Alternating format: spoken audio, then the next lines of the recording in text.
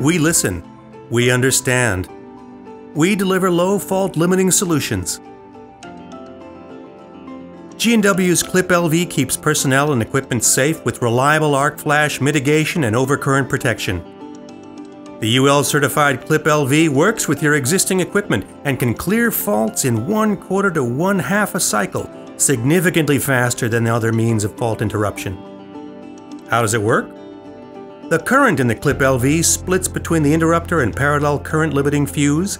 Only a small fraction of the total current flows through the current limiting fuse.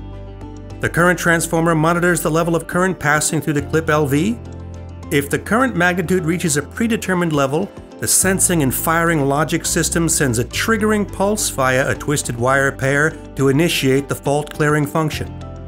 This function severs the copper conductor and forces the fault current to the parallel path where it is extinguished.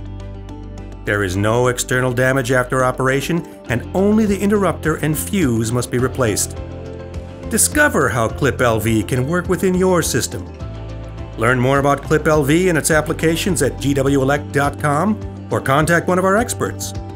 The power of listening.